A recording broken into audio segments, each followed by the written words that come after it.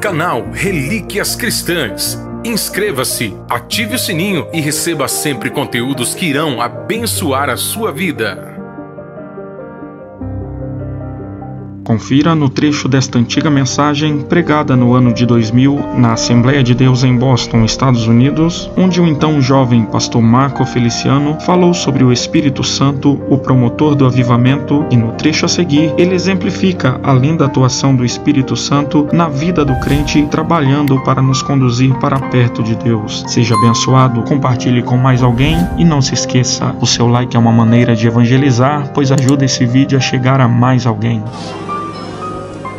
Me deem duas cadeiras aqui.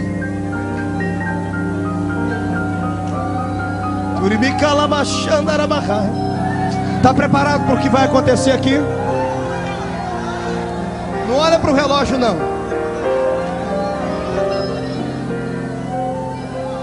Alexandre, me ajude aqui. Escute. Fique aqui. Escute. Ouça-me, eu vou te fazer relembrar quem é o Espírito na sua vida. O Alexandre vai representar aqui o Espírito Santo de Deus. E eu sou você ontem. Alexandre, posição assim. Onde eu for, tu me acompanha com os olhos, com a cabeça. Mas não, não ande atrás de mim, ok? Olhe para mim. Moço, moça, isso é importante. Foi assim que Deus mudou a minha vida. Antes de você ser um servo, um cristão, tu eras escolhido por Deus. Alguém orava por você. E quando alguém intercede por alguém, a pessoa que foi recebeu a intercessão, ela é levada à presença de Deus e ela passa a receber a atenção de Deus. Deus não pode tocá-la, mas pode observá-la. Você ia para a escola, ia para o trabalho, e ele acompanhava você com os olhos. Ouça, veja. Você ia para o trabalho e ele te acompanhava. Onde você ia? Embora ele não pudesse te tocar, ele nunca perdeu você de vista. Você era querido de Deus já.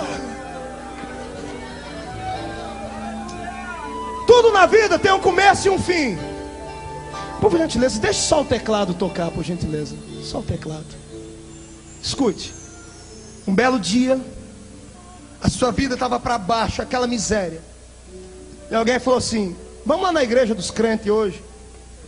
E você, sem ter intenção nenhuma, estava até com outros planos, disse: Ah, vai, vamos lá, não custa nada aí. O dia que você resolveu ir para a igreja, ele deixou de te olhar e começou a caminhar do teu lado. Vamos para a igreja comigo, mas não me toca ainda. Só me acompanhe. Vamos para a igreja? No meio do caminho ele foi contigo. Passou pelas esquinas. Parou no semáforo com você. Chegou na igreja. Alguém arrumou um lugar para você sentar. Quando você sentou, ele sentou com você.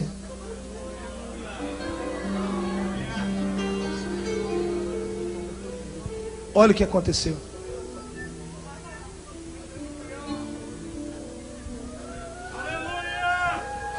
Nossa, que coisa estranha eu estou sentindo aqui nessa igreja. Tá me dando uns arrepios aqui. Quem contou a minha vida para aquele pregador lá? Ele está falando a minha vida inteira. Que vontade de chorar é essa? Você não entendia nada. Era ele aí do seu lado, te tocando. É o que ele está tentando fazer contigo desde o começo do culto. Ele está aí do seu lado esperando que você seja sensível, tanto quanto ele é sensível. Chegou a hora do apelo, você até queria aceitar Jesus, mas não dava conta, não tinha força. Eu até queria ser crente, quando você menos viu, tua mão estava para cima. O que foi que aconteceu? Era ele aí, ó.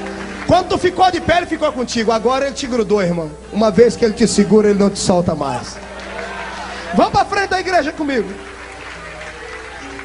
Dobrou o joelho, aceitou Jesus. Tu não sabia orar, lembra?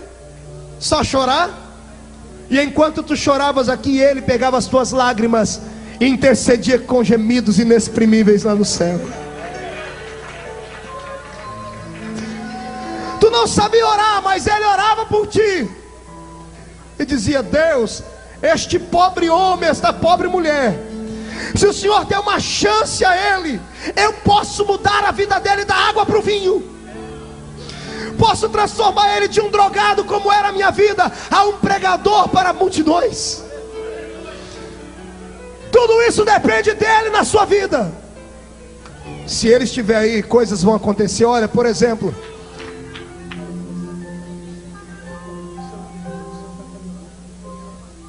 olha aqui. No outro dia você levantou, saiu leve. Foi para a escola naquele dia. Parecia que tinha um gigante do seu lado. Não é que parecia, não, ele estava mesmo contigo. Chegou na frente da escola, perto de todo mundo. De repente alguém disse: Ei, Vamos contar umas piadinhas daquelas bravas que só eu e você. Você conhece aquela. Você conhece aquela outra do. Você conhece aquela outra. Mas rapaz, você não vai contar, não. Eu estou tentando, mas alguma coisa não deixa eu contar mais essas coisas não é alguma coisa, é Ele. Alguém dizia para você: vamos lá fumar droga. Louquinho para bater a mão na minha boca, né? Vamos lá mexer com droga de novo. Olha o que aconteceu. Mas eu estou na igreja agora, não interessa, não tem ninguém olhando. Vamos lá, então vamos. Vamos embora logo, rapaz. Mas você não quer ir? Eu quero, mas não tem jeito. Algo não me deixa mais, não é algo, é Ele. É o Senhor que está aí do seu lado, te defendendo. Pior não é isso, tem coisa melhor ainda. Ele passa a ser seu amigo e um amigo defende os outros. Quer ver? Vem um bem forte aqui querer me, me bater. Vem cá, tu, Júnior. Vem cá. Vem. Vem pra cima. Quando ele. Vem. Vem, rapaz. Vem. Vem, vem, vem, vem. Que jeito, ó, o meu amigo aqui, ó. Esse Espírito está aqui hoje à tua disposição, querendo provocar o maior avivamento que a sua vida já viu, querendo tirar você do marasmo e o último lugar da fila e colocar você aqui na frente. Feche seus olhos agora.